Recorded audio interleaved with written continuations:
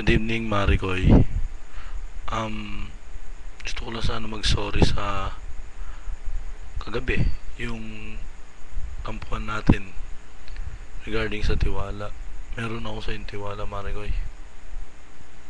Huwag mong isiping wala. Gusto ko lang maging ma-safe ka. I'm not saying hindi ka magiging safe with them, but extra safe ang gusto ko. I'm sorry po talaga Mari ko, hindi ko po sinasadya.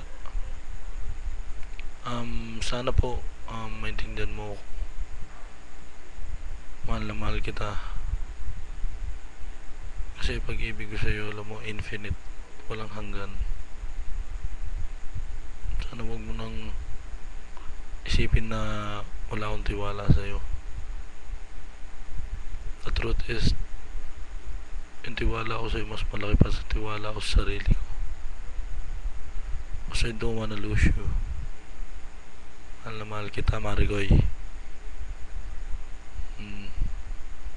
Kaya nga walang hanggan, di ba? For me, it's endless love.